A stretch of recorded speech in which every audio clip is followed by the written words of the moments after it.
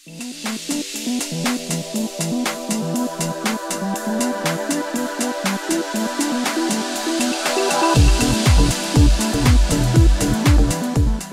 warahmatullahi wabarakatuh. Selamat datang di channel Fozan Project Creative.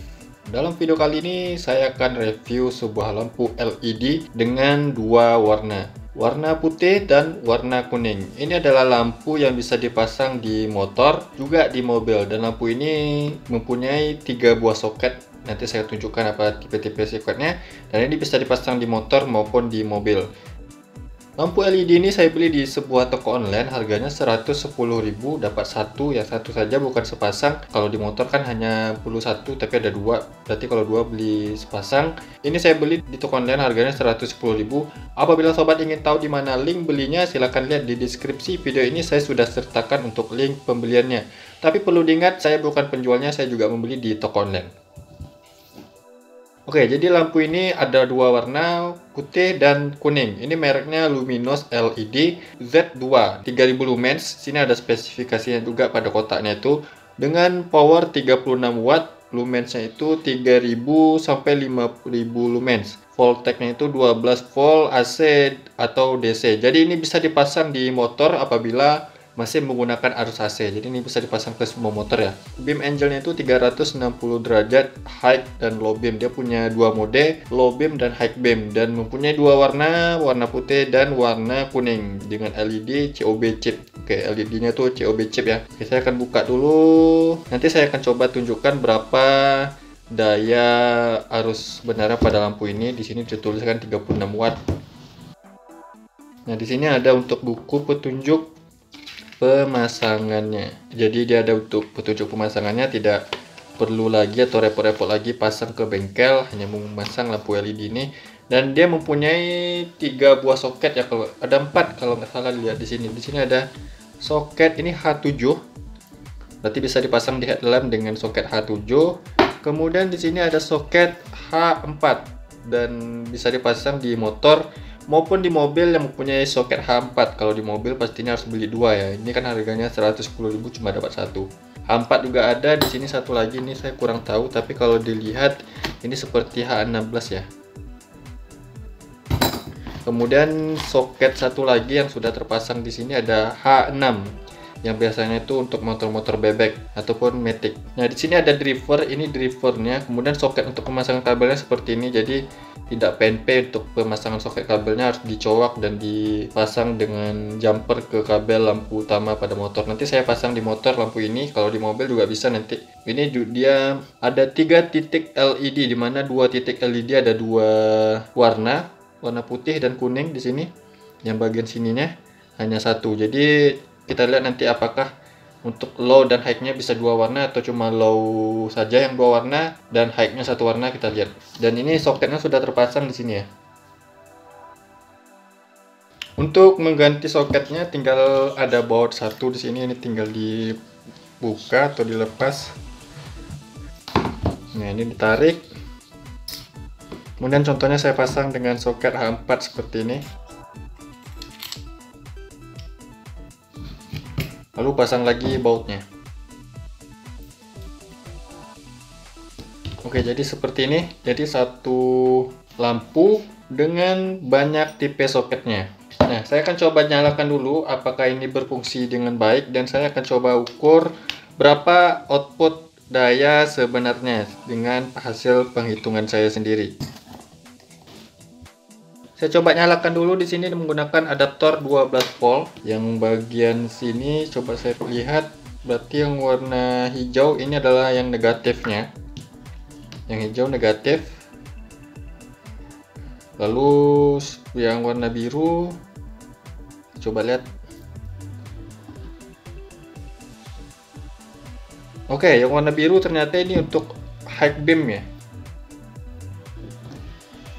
yang warna putih untuk low beamnya. Berarti biru high beam putih low beam yang bagian positif kemudian hijau ini yang negatif. Dan untuk yang high beamnya pada saat saya nyalakan high beamnya dia ketiga titik LED nya menyala di sini. Dan ini sangat terang ya. Saya silau di sini terasa sangat silau mengenai cahaya pada LED ini. Tapi kalau untuk high beamnya dia hanya satu mode. Maksud saya cuma satu warna kalau untuk low beamnya di sini nah low beamnya dia mempunyai dua warna. Kalau low beam dia yang bagian sini saja menyala yang di sininya yang bawah sini tidak. Ini tuh dan dia mempunyai kipas di sini ya nanti saya tunjukkan. Ini lo, itu low beamnya tadi warna putih. Dan apabila ingin mengganti warnanya harus mematikan dan menyalakannya secara cepat. Seperti itu. Dan kuningnya seperti ini kuningnya juga sangat terang sini saya rasakan. Saya merasakan silau dengan cahayanya. Pada lampu LED ini dia mempunyai kipas pendingin di sini ya.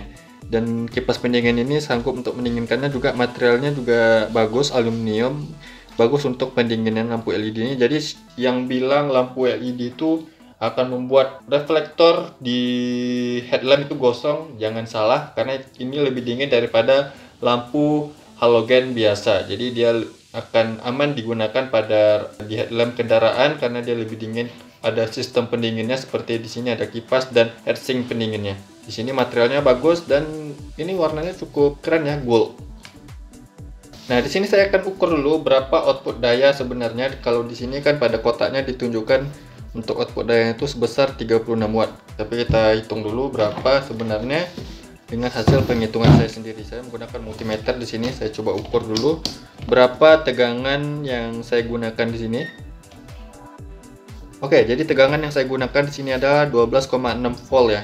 12,6 volt tegangan yang saya gunakan jadi saya menggunakan tegangan 12,6 volt oke dan saya hitung dulu untuk low beamnya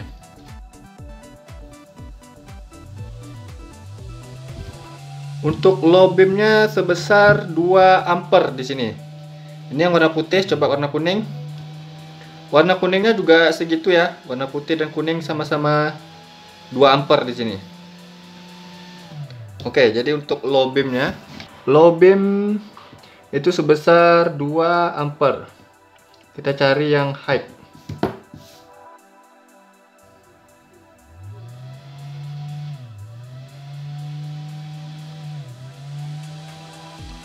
Oke, yang high-nya sedikit menurun 1,9 ampere. Oke, di sini saya sudah menemukan berarti untuk high beam itu 1,9 ampere ya. Jadi terbalik di sini. Mungkin karena ketiga sisi LED-nya menyala jadi harusnya terbagi-bagi ya. Mungkin itu tidak apa-apa, yang penting cukup terang. Mari kita hitung untuk low beamnya dulu. Ini berarti 2 dikali 12,6 volt. Ini dikali 12,6 volt. Hasilnya akan kita dapati di sini. Jadi 12,6 volt dikali 2 ampere. Nah, untuk yang low beam itu sebesar 25,20 watt dan untuk yang high beam itu berarti 12,6 dikali 1,9 hasilnya 23,94 watt oke jadi di sini hasil pendapatan dari saya untuk yang low beam itu 25,20 watt untuk high beam 23,94 watt. Ya mungkin bisa dibilang tidak terlalu jauh berbeda ya dengan apa yang dituliskannya karena nanti kepada kendaraan itu bisa tegangannya bisa naik 13 sampai 15 volt. Dan untuk mencapai 30 sekian watt ini pun cukup besar ya satu lampu ini bisa mengkonsumsi daya sebesar 25,20 watt. Kalau lampu standar kan kalau lampu standar di motor itu biasanya 35 watt atau 25 watt. Jadi itu tidak terlalu jauh dan ini sama dengan watt pada lampu standar di motor. Jadi tidak akan mengkonsumsi daya banyak uh, pada kendaraan atau baterai aki di motor. Oke. Jadi ini sudah saya hitung dan saya uji nyala berfungsi baik. Sekarang saya akan tun coba tunjukkan cara pemasangannya di motor. Saya akan pasang di motor dan tunjukkan pencahayaannya di malam hari. Terus ikuti video ini dan jangan ke mana-mana Oke, okay, saya pasang di motor Honda Beat FI. Pada motor Honda Beat FI ini dia lampunya masih halogen standar seperti ini. Saya akan ganti dengan LED tadi dan ini arusnya sudah DC ya pada lampu utamanya. Tapi mas meskipun arusnya AC masih bisa dipasang lampu LED ini, tapi sebaiknya le lebih baik itu arusnya DC karena arus DC lebih stabil lagi ya. Kalau arus AC itu mengikuti putaran mesin makanya dia nggak stabil. Kalau DC dia sta lebih stabil dari AC oke ini batok depannya akan saya buka untuk pemasangan lampunya yang bagian ini. Oke jadi bodi depannya sudah saya buka. Ini soketnya lalu di sini lampu utamanya. Saya akan buka dulu. Ini tinggal dicopot saja karetnya. Kemudian ini di tekan ke dalam lalu putar. Nah seperti ini ambil lampu utamanya. Ini masih halogen standar dia menggunakan output sebesar 25 watt. Oh bukan 35 watt. Ini 35 watt ya sedangkan LED tadi hanya 25 watt. Jadi lebih kecil LED tadi dan tidak mengkonsumsi arus yang banyak. Oke, jadi pada lampu pada kabel bawaan motor ini dia pas warnanya di sini ya. Warna biru, putih dan hijau. Pastinya hijau ini yang negatif karena hijau di sini dia menyatu ke bodi pada soket ini berarti ini negatif. Jadi kalau saya pasang ini hijau ke hijau strip oranye ini yang biru ke biru, putih ke putih. Kalau high beam dan low beamnya terbalik, tinggal dibalikkan saja kabelnya atau pemasangannya. Jadi karena bukan tidak PNP, dia harus dicowok kabelnya, kemudian disambung secara di jumper.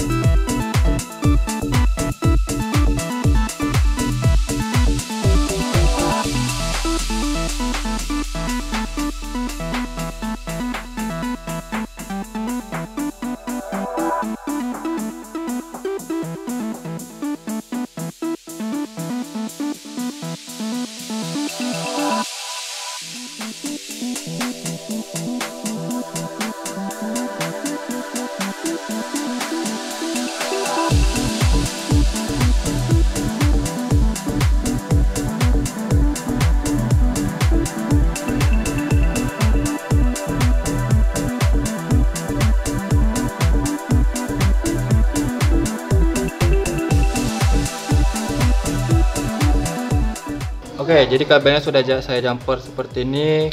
Ini bagiannya yang saya tutupi agar tidak terjadi konsleting. Jadi ini tinggal dimasukin, tapi masukinnya pakai per. Ini per yang sudah sediakan pada LED tadi ya. Dipasukkan seperti ini, kemudian tancapkan ke sini. Oke, jadi pernya agak keras ya, masih manjang. Ini pernya coba saya potong sedikit segini. Nah ini pernya sudah saya potong seperti ini, kemudian ini masukin lagi.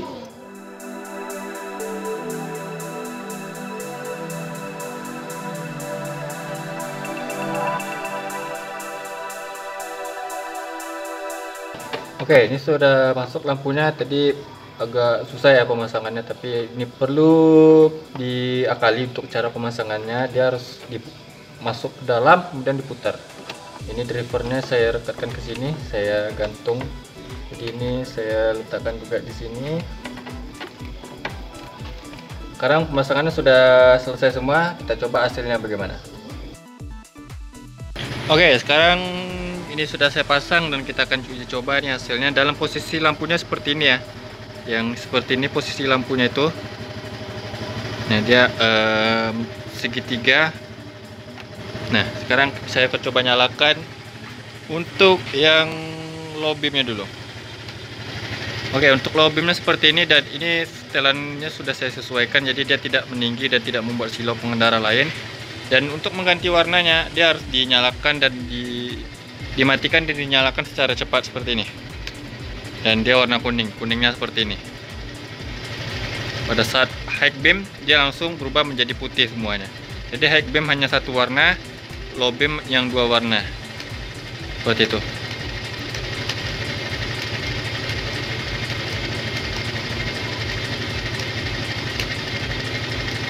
Oke tapi nanti warnanya agak lain nih warnanya. Maksud saya ini kan nah pada saat high beam dan saya posisikan low beam lagi dia berubah warna kuning. Padahal tadi posisinya ini warna putih ya. Saya ubah dulu posisi warna putih di sini. Nah ini warna putih saya high beam ini high beam saya low beam langsung kuning. Jadi agak ribet untuk menyesuaikan warna dengan selera kita. Tapi tidak apa-apa nas juga warna kuningnya pun saya yakin ini akan tembus hujan nih. Dia terang dan padat. Tapi ya e, cahayanya agak menyebar. Mungkin harus dipaskan posisi lampunya. Saya akan coba ke dalam.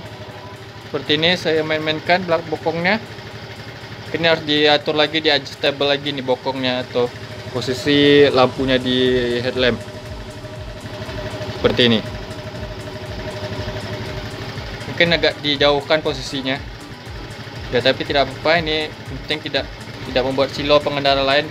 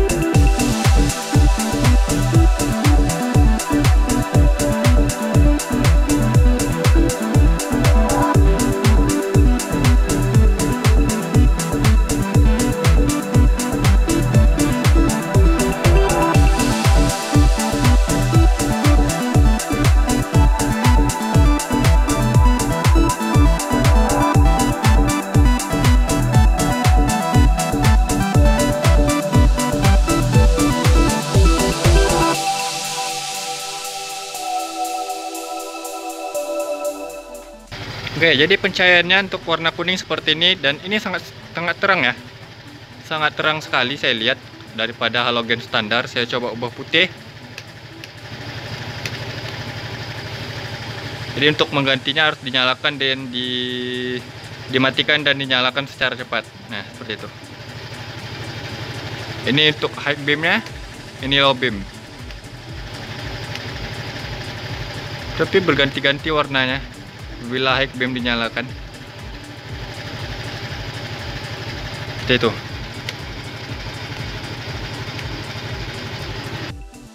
Uh, worth it juga tapi agak sedikit silau. Lebih baik menggunakan RTD M8 agar tidak silau pengendara lainnya karena dia memiliki proyektor